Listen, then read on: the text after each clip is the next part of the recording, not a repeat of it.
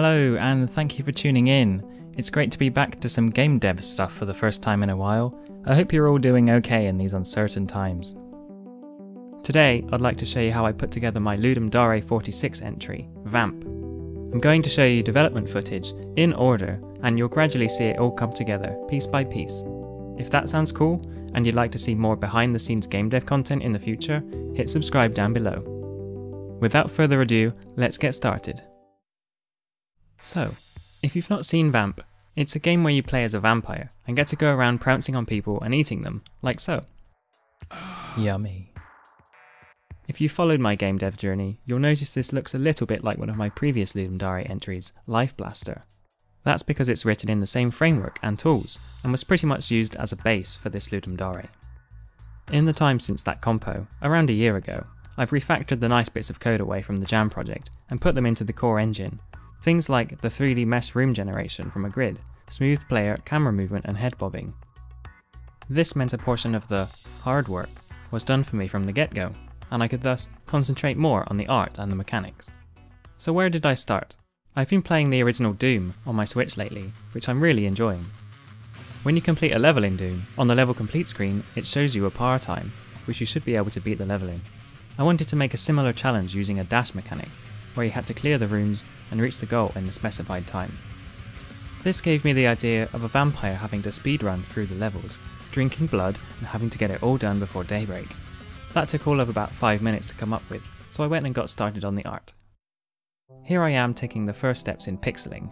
Hands, teeth, wall tiles, and an enemy. What is this weird mushroom helmet? A few more states for when they notice you and start running away. And various facial hairstyles. A second enemy, this one with a gun that can shoot you instead of running away.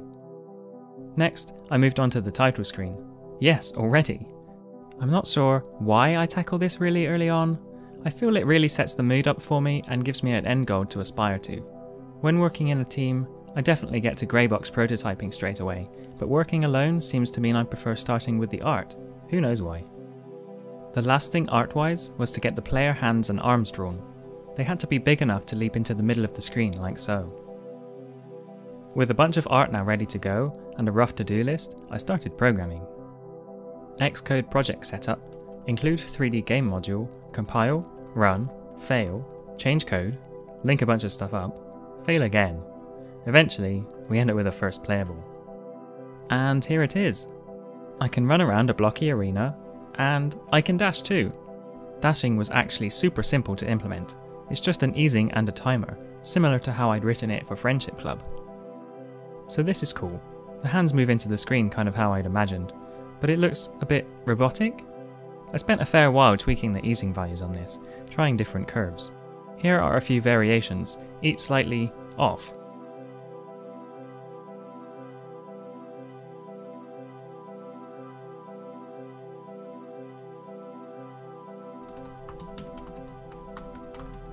A bunch of coding later, I have a space with some walls in defined by grid tile, and a simple door that opens when you press a key.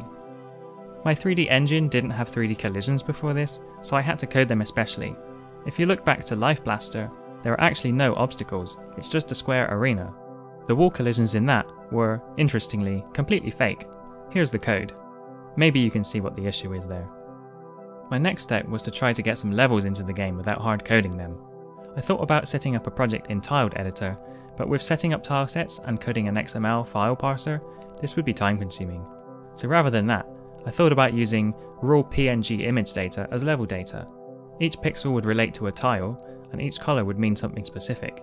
Black would be for walls, red for doors, blue for enemies, cyan for blood pickups, yellow would be for the player start position, and magenta for the level end goal. This was a nice idea in practice, but it actually cost me a lot of time. Colours weren't being read correctly by my image loader, and I couldn't figure out why. I had to sleep on it. So it turned out that the files were being saved in the sRGB colour space. I was none the wiser for the best of Saturday evening, lots of head scratching. Luckily, once this was solved, it worked really well for quick prototyping and level design tweaking. With enemy positions set with blue, I could then start coding their behaviours and collisions. First up, they should die when you dash into them. I would have made them just disappear, but where's the fun in that? It's a game about being a vampire. There should be blood, guts and gore. I drew the remnants of a carcass and got that to spawn when the enemies were killed. That was fine, but again, not really enough. It just looked like the player dashed through the enemies, which isn't right by any stretch of the imagination. I wanted the player to really feel like a vampire. The enemies had to be surprised, to scream, and to slowly succumb to death. So time to put those teeth to good use. Mm. Now I had to make the enemies do something. I wanted them to run away from the player. They would need a few states to be able to do this. These states worked initially, but there were a few hurdles. There was no line of sight detection in engine, so the enemies would always be running. They also couldn't open doors, and they sometimes, somehow, even walked through walls. Ultimately, this was because I hadn't set their collision height, so they got pushed down out of collision cubes instead of pushed out of them sideways. Another bug at this point, and definitely not a user error, was me occasionally losing my position or getting lost while playing. This was annoying me, so I decided to add a second brick colour in to help with level navigation. Once that was fixed, there's kind of a submittable game. Clear the enemies, win the level. Clear the levels, win the game. Bam! Submit it. Just kidding, it was lunchtime. As I do many days, I made a wrap for my lunch with falafel, hummus and salad, all rolled up and ready to eat. Quick and tasty. Now it was time for playtesting, tweaking, polishing, and adding so-called nice to haves. I tweaked the art a bit, removed those mushroom helmets I mentioned earlier, flattened the colours, drew a coffin as a level goal, drew a nice table that never made it in, drew an extra enemy that I thought I might be able to code in time, and didn't. Ah. In the final hours before submission, I tweaked the level designs, made some music and sound effects, and added level names and par times. It was around 155, so I was calling it done. Here's the game in its final glory. Somewhere along the way, I drew the level complete screen, blood pickups, and a few other things. I didn't record the entirety of development this time because my laptop is always complaining about being low on disk space at the moment. Oops. It really is a miracle that I'm able to put this video together. Anyway, I hope you all had a fun Ludum Dare. Sometimes it's fun, sometimes it's not. I had an enjoyable time this time around. Let me know in the comments if you'd like me to play your game too. I'll be around. Big love and thank you to my Patreon supporters. As of this week, those lovely people have a brand new, totally switch, cool styling game coverage bot running in their Discord servers. If that kind of thing interests you, head over to my Patreon for more information. Well, that's enough from me today. Enjoy your week. Bye!